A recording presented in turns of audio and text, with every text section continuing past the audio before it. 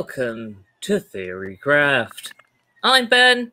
Over there is a lovable dude named Jack with two furry guys called Minogi and Boris.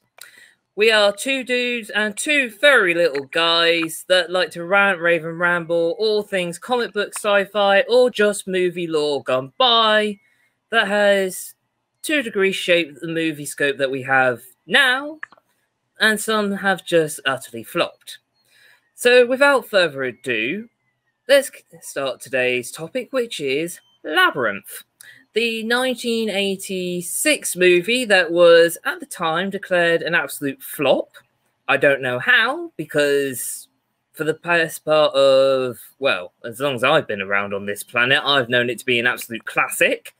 And supposedly, Labyrinth, after almost, well, 30 years, give or take, there has been rumors of a sequel for the movie.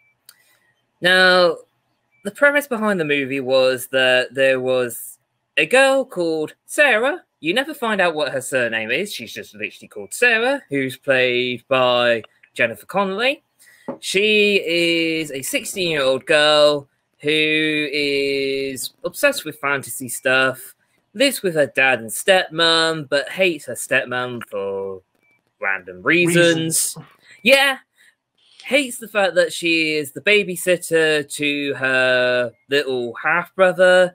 And basically, during her obsession with this book that coincidentally is called Labyrinth, which is a play, she decides to say some words from said book to summon the Goblin King to take away the child because she's had enough of him, then realizes she's completely and utterly fudged up, and yeah. Now, obviously, it sounds a very random plot, but at the same point, this was a very bizarre movie, primarily because it was directed by Jim Henson, who was obviously the mastermind of pretty much all of Hollywood's puppetry since Star Wars, if not earlier.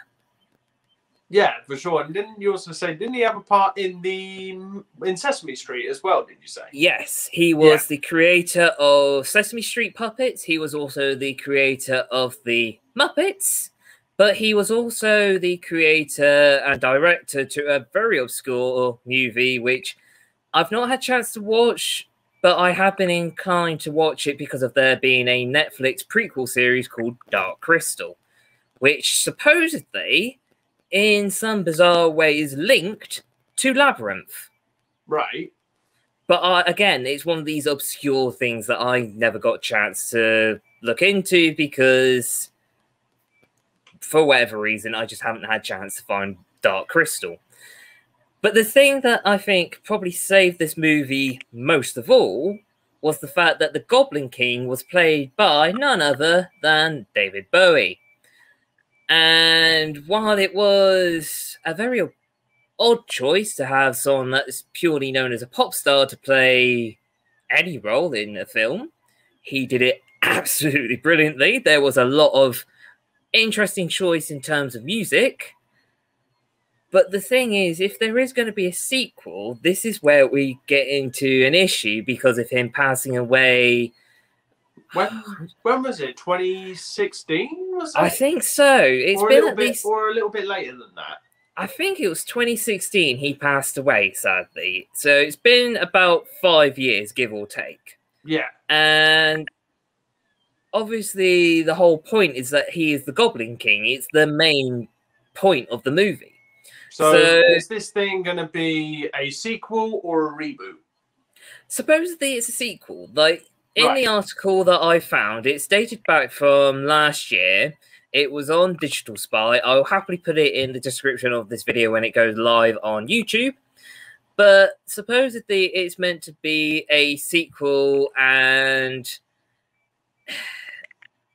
that's as far as it's got. Like there hasn't been much in terms of how it fits into the previous movie. It's apparently being directed by Scott Derrickson. I don't know if that's how he actually pronounce his name, but he's the guy that was director of the Bermuda Triangle movie, which I've heard really mixed reviews on because it's not the best movie for conspiracy stuff, I suppose, but It, sound, it sounds like it fits into the realm of Sharknado. yeah. Um and by that, I mean the films were rubbish. yeah, see, this is why I got not much hopes in this movie. If it's meant to be coming out next year, and this article was dated last year, and there's been next to nothing about it, it begs the question whether they've actually taken this seriously. Well, say if like you're going to base like Labyrinth in like in today's world in 2021, I just found I just think the perfect person to be like a maybe another Goblin King or maybe another interpretation of that uh, beloved character that David Bowie played. You have the guy who's been in The Boy from Mars, who's been on Broadway, he's been in the West End, even in The Greatest Showman. Hugh Jackman, I think, would be like really perfect. I think for that. Yeah, see, this is the thing. It's a very good choice. It's just a very random choice, nonetheless, because It's, just like only thing is, do you think like people would care? Like now, if you were going to base this film today, do you think people would care about it not making so much sense? Because even all this time later, I still can't make heads or tail of what the hell the film's about. yeah, I mean, it's a very trippy movie. But how are you like? How are you going to make sense of a sequel if you ha- still have no idea what the first one was about? this is it. Like the I think the whole point of the movie was that you're supposed to learn from the fact that you can't just run away from your problems. I think that was the whole scope of the thing in some bizarre, trippy. Yeah, it was some moralistic movie where being a teenager, the world's all against you. Apparently, I want my freedom, and it's it's a very bizarre movie. I mean, the thing that is like the amount of puppetry that they used in it was just magnificent. oh, it was Uh, brilliant. I can't, I can't like doubt that. I mean, the thing. There's a few scenes that always trip me out. There's the bit where I don't know what they're called, but they look like very stressed out phoenixes. It's like bright orange and bright red firebird type things, and they can swap body parts. But it's the bit where they like rip their heads, well, they pop their heads off and poke their eyes out. It's a bit. Well, to be honest, I think like even like the even puppetry is a completely lost art. You know, when hmm. you had like obviously you had Sesame Street, you had Yoda, who was just a basically a man below a stage, like controlling this puppet. But now it just seems that is a that's a lost art in itself because this is an art form in itself, using practical effects, using practical puppets. I feel it just gets that it just gets that more real world vibe, but especially when if it's going to be, I wouldn't so much have the puppets virtual. I would love them to be physical, real animated puppets. As you know, there's some bits of like the old magic which I think you can get back, which is I lost think- now. Yeah, I mean, the thing is, it's all well and good having CGI, but the problem is with a lot of CGI is that it's so unrealistic sometimes that you can tell that it's not even there. Yeah, And it kind of ruins the movie magic. At least when it's like physically made props, it gives a better illusion to what the story's meant to be. I mean, the thing that I find hilarious is the fact that when it comes to, say, Vision for the MCU, the only thing that he technically wore when he first came about was like a latex mask, and then the entire body was the motion capture suit. And then over time, obviously, they created the suit and then they sort of dubbed over it with CGI. And the other thing as well is obviously the art of making props employs so much work because it takes like five people to do one character. Like, say, Big Bird from Sesame Street. It takes two people just to operate him. One's for the head, one's for the body, and then you got a third person to do the voice. It's a lot of work to just do one character, which employs a lot of people. even talking about the MCU as well. Doc Ock in Spider-Man 2, when you had Alfred Molina playing Doc Ock. Most, the majority of that film, obviously, you can tell what CGI and what you can tell what CGI and what's not. But for a good majority of that film, they used practical, real arms. So Mhm. you had altogether for those four robotic arms about 20 people on set operating them. But this is it. It's the thing is with CGI is that while it's amazing how far we've come in terms of special effects, Like, it's Do you need to use it though? this is it. Like, I'm trying to remember. There was, I can't remember who it was interviewed. There was an actor interviewed for a movie that he'd done once, and they basically they had to make him react to like a scene by literally talking to a tennis ball on a stick. For the Yes. hype. Yeah. I'm trying to remember what movie it is. I've got a feeling it's Martin um, Freeman. Is it? Uh, no, is it it's not a film where they're talking to like this weird space monkey thingy, is it? I can't remember. I mean, Because there's another one where just only thing it does only thing is I think the advantage of using puppets is that I've seen so many blunders with CGI. There's I cannot remember for the life of me what the film's called. But you got one one of the actors who's speaking to like this space monkey thing that he's holding in his arms. But in reality, all he was doing was just hugging air, basically, and he's like looking in the wrong direction. He's not interacting properly with it. So Yeah. it's just unless you're a very good actor, your performance just doesn't look believable whatsoever.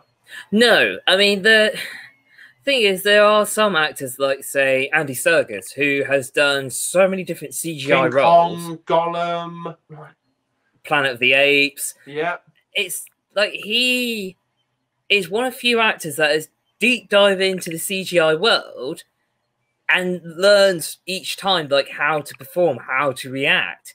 But then it's like I was saying to you about a really sad um, co- commentary thing on Lord of the Rings with Sir Ian McKellen, where there's a scene where he's on at the table with all the various characters, and because obviously they're different species hobbits, dwarves, elves, everything they're supposed to be shorter than him because he's just a human that's a wizard. yeah. So they could have easily done a trick where it's called forced perspective, where they basically have an actor further away, but the camera is in such an angle in a straight line that it makes it look like, like say, my hand's closest to the camera. It looks bigger, even though it's not. But instead, what they did is they CGI'd a green screen, and they had all the other actors perform their bit in the actual like uh, room that they made into an actual thing. And then Sir Ian McKellen is CGI'd in a separate room and does all his lines on his own. But they have someone speak the lines to him so he knows how to react. They do the lines, and then as soon as they hit cut, he just bursts into tears because he's so lonely when he acts. Because he said that's not the point of acting, it's a community. Well, exactly. I mean, Ian McKellen, he comes from that old school Shakespearean theatre background where, like, you really talk, you really act, you really do all the practical stuff. And it is, you build that kind of community in, like, the West End songs. He was part of that old school Shakespeare, like, workshop kind of thing.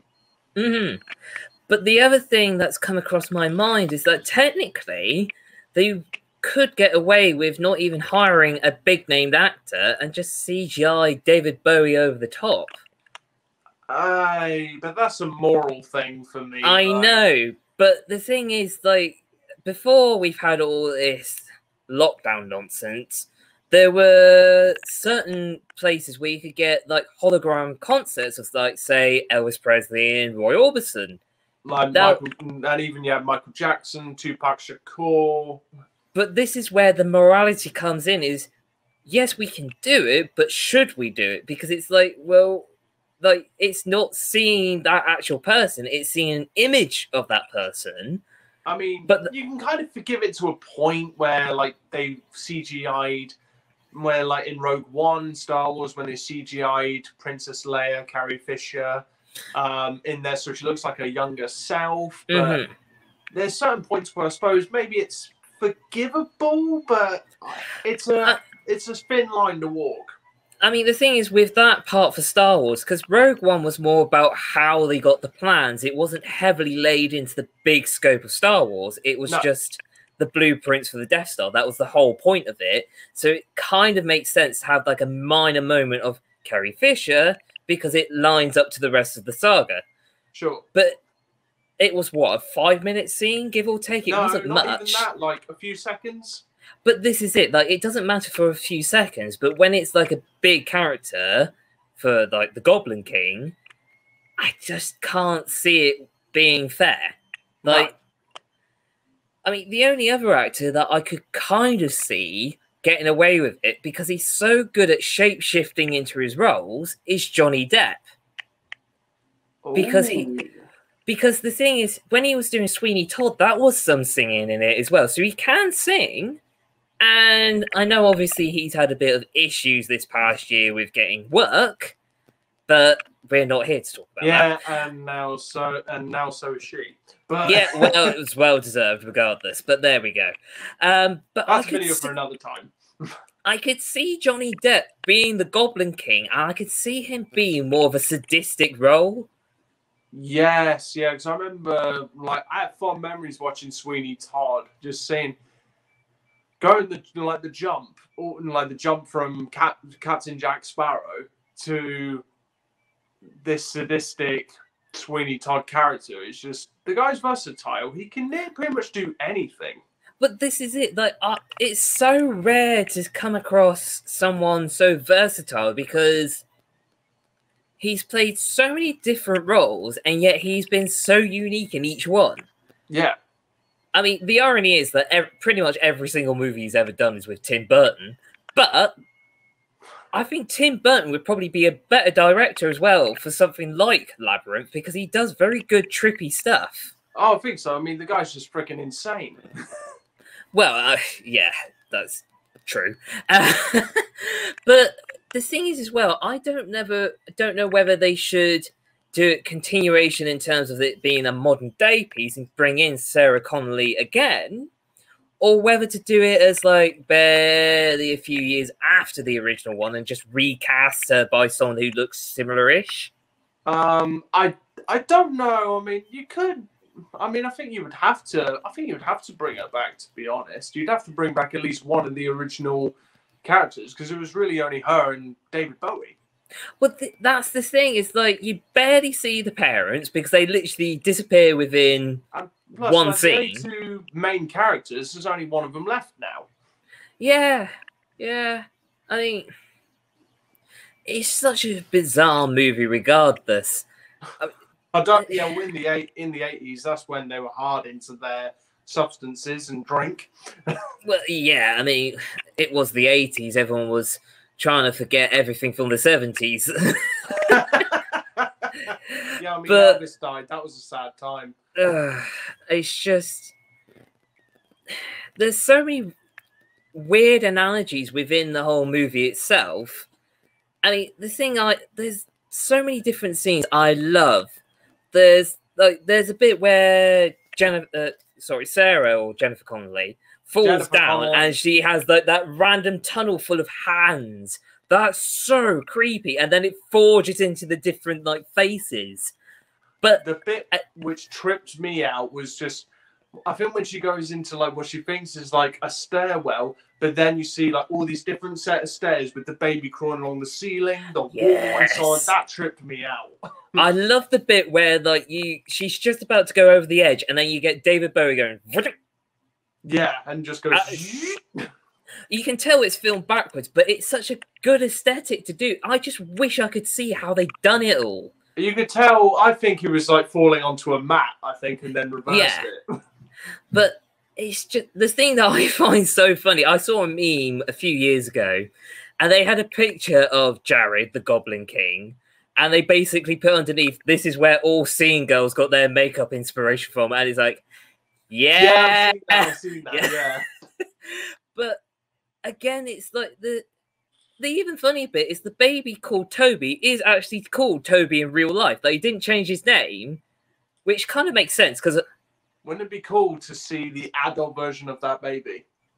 well, this is what I'm wondering if they were to like bring it in terms of like modern day. What if it could be like a generational thing where Sarah either she suppressed the memory somehow or perhaps she's gone back and forth over the decades to they don't even say where the place is it's just known as the labyrinth Yeah, that's it. but you could have it as like some weird thing maybe she's schizophrenic that would be such a cool twist that it could be Oh, like that, that's going into some like Inception stuff. Like, well, it could be like they de- they she's like locked up in an insane asylum. She's declared psychotic or something, and then it's about her trying to prove who sh- like everything is real. Because at the end of the well, the end of the movie is the fact that she basically she's sixteen. She's trying to cling too hard onto being a child, but obviously she's not. She's a teenager. She has to grow up at some point. And all the characters say to her that should you need us, we'll be there. And then she has a massive party with them all, and that's it. yeah, and then this is where we find out in the sequel at the end of the film. She thinks she's in like this place called the Labyrinth, whereas as a matter of fact, she's in a robe standing against a white wall in a padded room. God. she's been stood there for hours. I don't know what she's on about. But the thing is, as well, it's like And wouldn't it be so trippy? Like, and wouldn't it be wouldn't it be so trippy if she's a schizophrenic in an insane asylum? Obviously, not trying to glorify mental illness. Let's just put that out there right now. yeah. Um, but let's just say, like, she's in a room thinking that like this is all playing out in real life, and the doctor walks past and it's David Bowie. Oh, Wouldn't that, that be would trippy be so cool. That if only that was possible. Yeah, God, that would be so funny. Because you could have it. You could call him Doctor G King. that's true. Yeah. Um, but this is it. Like, it's one of few movies that doesn't actually have much of an ending to it. If you think about it, it's kind of you kind of make it up yourself, really. yeah, it's it kind of reminds me of Never Ending Story to a degree, which I think is going to be a video I'm going to have to do another time. But the 80s movies, they seem to be something else. Like, they are quite monumental things, whether it be Terminator, Police Academy, Alien, Predator. They were they were different. They set the stage for sci-fi or fantasy along the way, but at the same point, it was like it, it they end, but they don't impact much. And then obviously, different directors come along and they add sequels and make things more complicated. And Which is- up timelines and so on. Yeah, which is why I'm a bit hesitant with the idea of there being a sequel to Labyrinth if it doesn't like have a proper logic to why it's continuing on. If it's a prequel, then yes, that's fine because it c- gives a bit more depth as to who the Goblin King is, why he is, and what he is. Yeah, but then this is the problem again. Like, can you really do a prequel without David Bowie? I don't know. Um, it's- this is why, if anything, I could kind of see a sequel where Sarah becomes the Goblin Queen. Mm. But again, it's one of those things like, why? Because they don't explain in the movie what happens to her mum. It you assume that her mum must have died. I think Because so. that's- because all you know is like it's her dad and stepmom. Stepmom's not that evil, but it's just the teenage angst towards her being yeah, a yeah, stepmom. obviously, yeah. but again, there's no actual logic behind any of it. I mean, it's a complete and utter nonsense movie, regardless. But I mean, there's so many random scenes. I just like there's the weird fox puppet that rides a dog like a horse, and the first thing that comes to my head is Basil Brush. Yeah, that's what I was thinking actually. It's like Basil Brush's pirate brother or something. Yeah, but with uh, with maybe Basil Fawlty's voice. Oh God. it's just I the, the one scene that I will kind of find the most peculiar of all is the one where you meet the random hag women with all the stuff stuck to them yes, yeah, yeah. because it's like kleptomania to, type thing where they just basically they can't be without anything so they have to like haul it with them everywhere they go and the whole idea is like she's not able to let go of being a child because she's obsessed with teddy bears. Because that's the whole reason why she wants to get rid of her half brother is because they use one of her many teddy bears for him. So Yeah. that's literally how the movie starts. Is like she's basically she's running back from going out in some random big field or whatever, and she runs home and she can't find this one teddy bear, this one sodding toddy, teddy bear that somehow her half brother's got in his crib. She gets pissed off. She loves the teddy bear more than the child, which I don't understand. But she basically starts reciting this incantation or whatever to summon the goblins to take the child away, and that's it. Yeah. I mean, I still find it bizarre that they he that he says to her that she's got until the thirteenth hour. It's not the midnight hour; it's the thirteenth hour.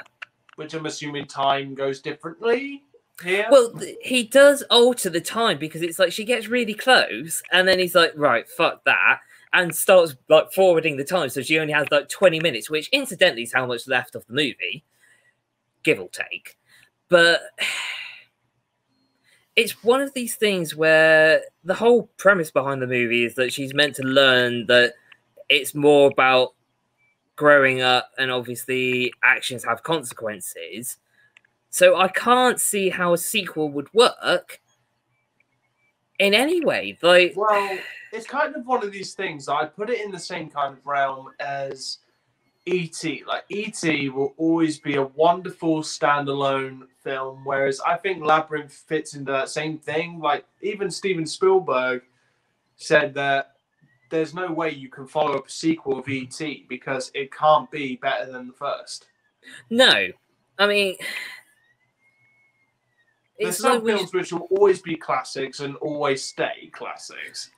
but it's what we said time and time again on this channel is that there's been so many movies listed as sequels for the past, well, so many years and still going because Hollywood just doesn't know what to do. They just want to, they have no original ideas left to a degree.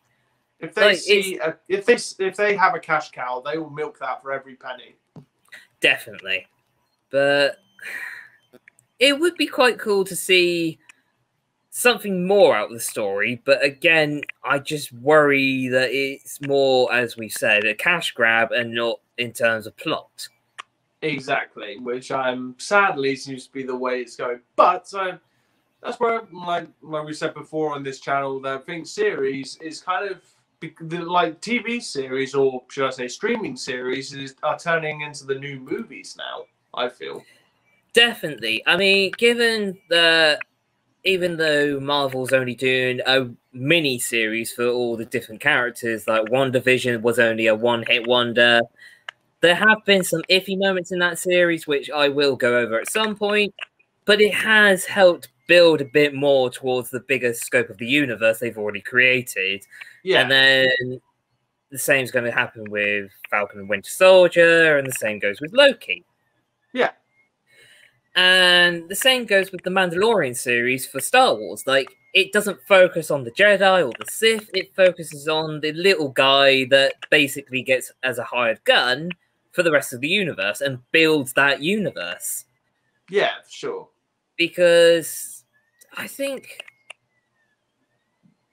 the original trilogy, it was just heavily laid into the idea of what Jedi and Sith were, like good and bad, that was it. Prequels came along and they kind of explained what Jedi were, but left the whole idea of the Sith hanging on a thread. And then the newer sequels, they basically scrapped what Jedi meant, scrapped what Sith meant, and just basically went, yeah, we don't have a clue what we're doing. Yeah, and just said, oh yeah, you know what? Guess what? We're gonna do our own thing and just sod what you saw before. yeah. But yeah, I mean, this is it for today's little rant. What's to well, our next topic is going to be obviously for you to talk about. So what are you going to talk about for next time? I think the next thing is going to be probably going into sort of real life stories. So either there could be horrors or other films that say based on true events, as that can be pretty loose for a lot of films, especially because if you put based on true events, everybody will just go, "Oh yeah, it definitely happened." But yet you have things such as The Exorcist, which that film says entirely based on real life events. Only about 10% of that film actually kind of happened. The other 90% is just fantasy, I'm afraid. Yeah. Because, no.